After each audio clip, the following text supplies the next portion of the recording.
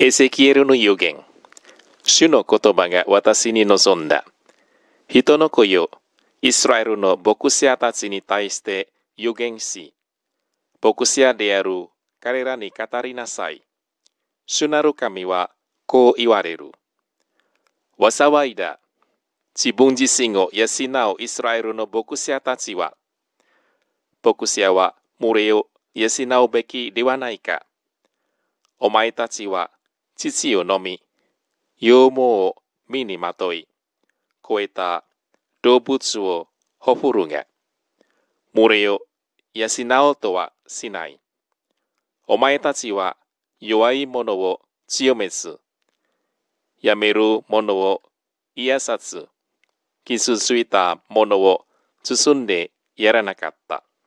また、追われた者を連れ戻さず、失われた者を探し求めず、帰って力ずくで、過酷に群れを支配した。彼らは買う者がいないので散らされ、あらゆる野の獣の餌食となり、ちりぢりになった。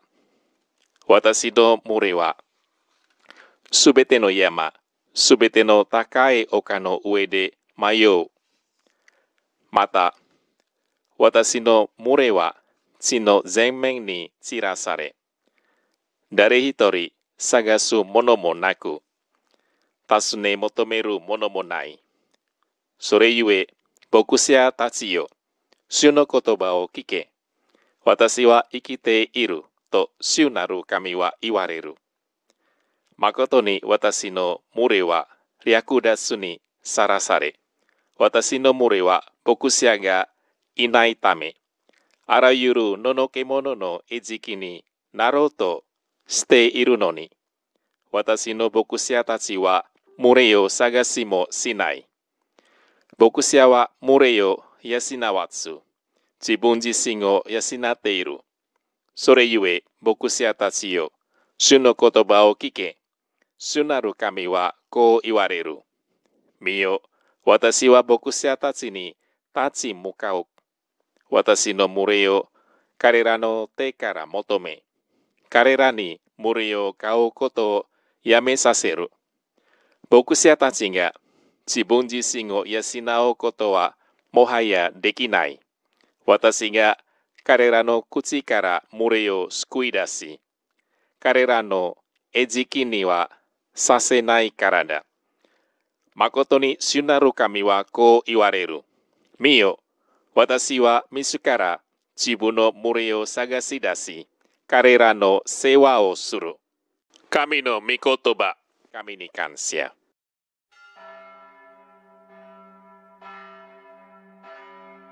主は我らの牧者。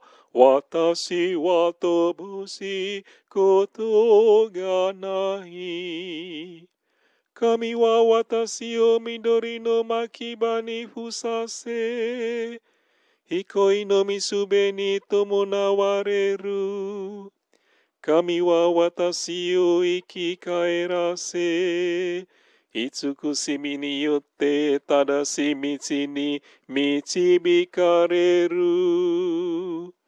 主は我らの牧者。私は乏しいことがない。神の恵みと慈しみに生涯伴われ、私はとこしえに神の家に生きる。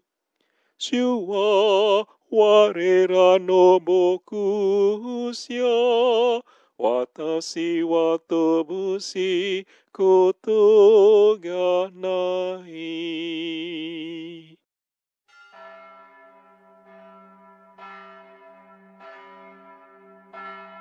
マタイによる福音。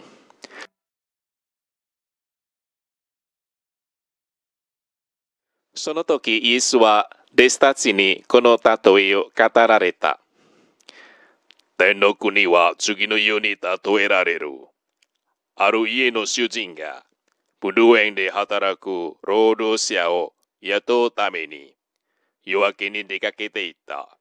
主人は、一日につき一デナリオの約束で労働者をブドウ園に送った。また、9時頃行ってみると何もしないで広場に立っている人々がいたので、あなたたちもブドウ園に行きなさい。ふさわしい賃金を払ってやろう。と言った。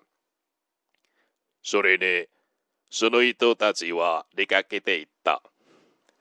主人は12時頃と3時頃にまた出て行き、同じようにした。5時頃にも行ってみると、他の人々が立っていたので、なぜ何もしないで一日中ここに立っているのかと尋ねると、彼らは誰も雇ってくれないのですと言った。主人は彼らに、あなたたちもブドウ園に行きなさいと言った。